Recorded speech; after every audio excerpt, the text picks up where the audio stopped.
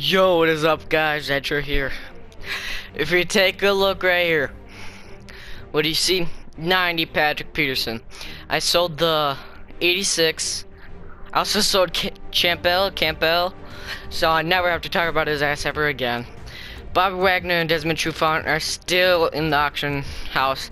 I'm not sure if the other Trufant sold too, because I bought one just to flip them. Uh, no, he hasn't.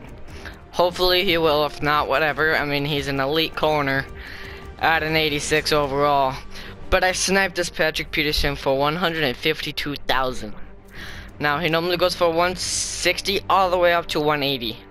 I was able to get him for 150, as you saw there. That was a pretty good deal. Now, if we come over to my auctions at everything I sold in the last like 24 hours, which is a decent amount, to say the least. Dang. Oh my god, that felt like ages ago. Uh, yeah, so I've been getting a lot of coins ever since. But as you can see here, Champel six, I got 6,000 for that. I mean 60,000 and like 27,000 for that. So we got some pretty good stuff. That we were able to sell. Now, kind of distracted right now because my sister's dog, Nico, is kind of exploring the litter box. Thinking about yelling at him, but I don't want to yell into the mic. So, elite player exchange, and I totally forgot to go get an elite player, guys. I'm sorry.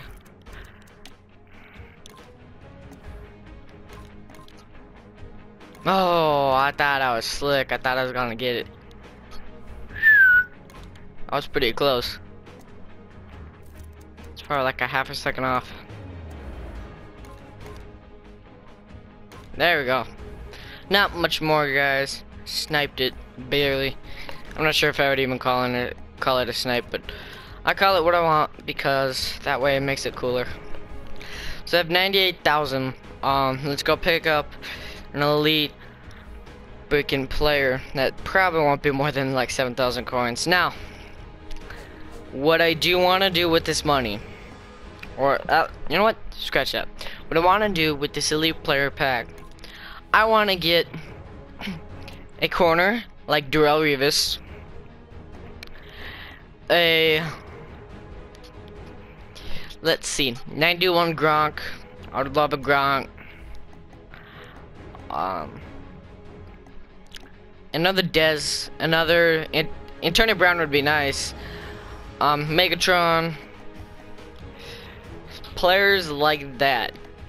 Along the 88 or higher range. So, let's just go into left outside linebackers. They're always cheap. I don't know why, guys.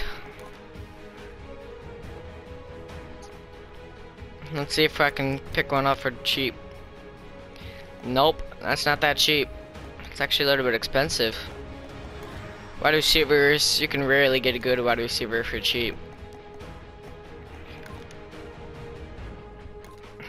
John Kuhn rose again in price even though there's more than 8 on the auction block which makes no sense whatsoever.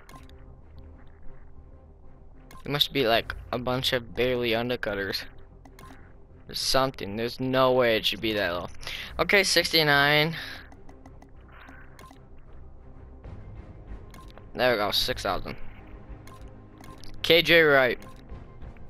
It'd be really fucked up if I just pulled KJ Wright right here. KJ Wright right here. Alright, here we go. Eyes closed. Oh shit, never mind. I don't get why sometimes it works, sometimes it doesn't. It just kind of makes me a little bit mad. In the meantime though,